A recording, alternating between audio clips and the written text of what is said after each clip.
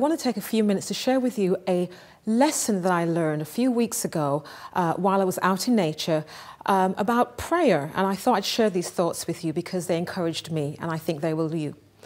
I was in the park one Saturday afternoon and it had been a beautiful, gorgeous, sunny afternoon.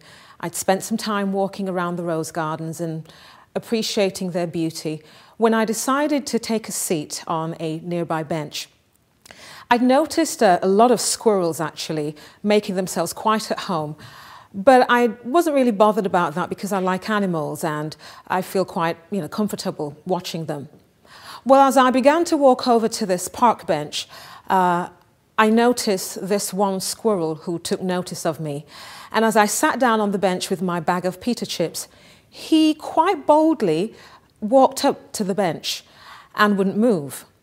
Now, I had no intention of sharing my pita chips with him, but this squirrel darted underneath the park bench and maneuvered himself, all the while looking at me, and moved closer and closer.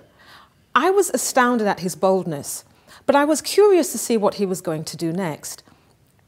I watched as this squirrel, who had obviously done this before, crept closer and closer to me until finally he stood just at my foot and reached out his paw, almost touching me on the foot. Well, you can imagine my surprise and actually my amazement. How dare this squirrel get so familiar with me?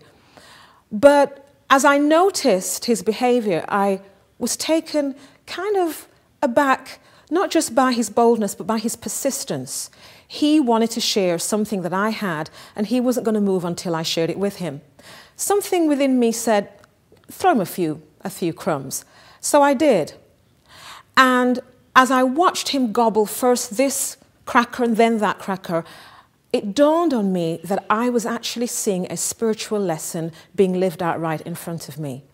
I was seeing lessons on prayer. This squirrel's persistence reminded me of the parable that Jesus told about the widow woman who persistently knocked on the judge's door late at night and would not give up until he answered her request. This squirrel won me over because he would not stop. So many times we miss out on God's blessings for us, on something that He has in store for us, because we stop too soon. We are limited by our capacity to receive, even our capacity to believe. And so, just at the point of receiving our blessing, we stop. Our lack of faith cheats us out of what God has to give us. The next thing that I learned from this squirrel is that he obviously had done this many times before, and he was accustomed to being in the presence of humans because he knew that when they were around, he was likely to get fed. And this reminded me of a quotation from one of my favorite writers who says, God answers the prayers of those who place themselves in the channel of blessing. Jesus knew this also, and early every morning he would go up to the Mount of Olives and place himself in the channel of blessing to receive from his Heavenly Father the strength that he needed for his daily tasks and his mission that day. Many of us need strength from day to day. And if we, like that squirrel, were to place ourselves in that channel of blessing, our Heavenly Father would be more than willing to give us what we need for the tasks that we face. The last lesson that I'd like to share with you that I learned from this squirrel, believe it or not, is that he was very wise. He took those cracker crumbs that I threw on the ground for him, and he was very careful to eat, select and eat the largest ones first. Now, you might think that's inconsequential, but I don't. Because many times when we get a blessing or a windfall, or we come into some good times, how many times we just squander it away? But this squirrel was very careful to appropriate wisely the things that he had received. And what I found really interesting is that he didn't eat every last crumb.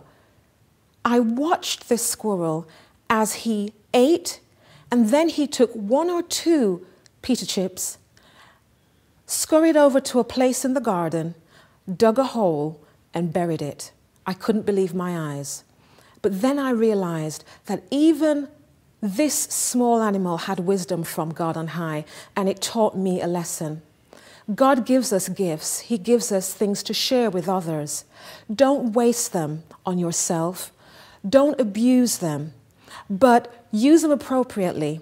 And while you're using them, make sure that you save some resources for a rainy day.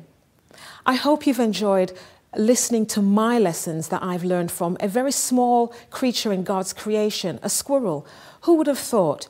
But some very important lessons for us. So I want to remind you be persistent in prayer.